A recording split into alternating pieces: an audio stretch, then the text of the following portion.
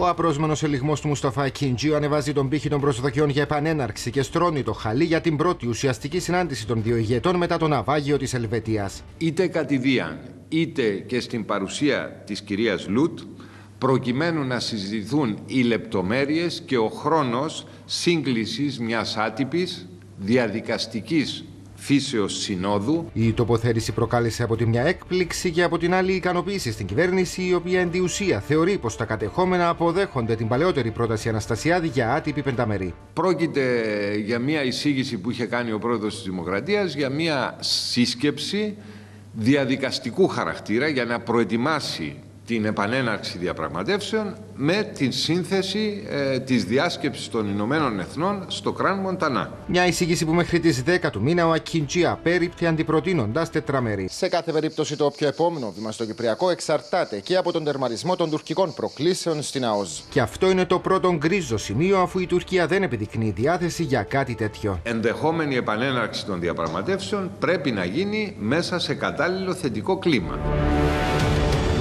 δεν έκρυψε την έκπληξη του άντρος Κυπριανού, ο οποίος άκουσε την τοποθέτηση του Προεδρικού ενώ έδινε συνέντευξη στην εκπομπή Α Ενημέρωση. Είναι θετική εξέλιξη να ξεκινήσουν διαπραγματεύσεις οι οποίες αυτή τη φορά πρέπει να πάνε μέχρι τέλους.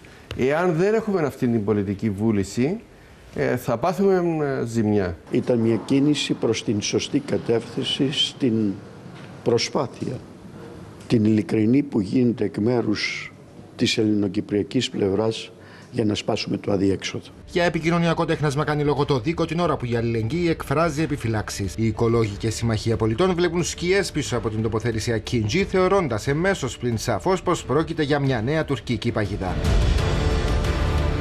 Μέσω της παρέμβασής του, ο Ακίντζη κάνει στην άκρη την Λουτ και επαναδιατυπώνει τα περί επιβολής χρονοδιαγράμματος. Δεν απαντά όμως ξεκάθαρα εάν εξακολουθεί να εφίσταται η διπλή κόκκινη γραμμή των τελευταίων δύο χρόνων. Ότι δηλαδή πρέπει να επιληθούν τα ζητήματα της πολιτικής ισότητας και του φυσικού πλούτου πρώτης επανέναρξης του διαλόγου.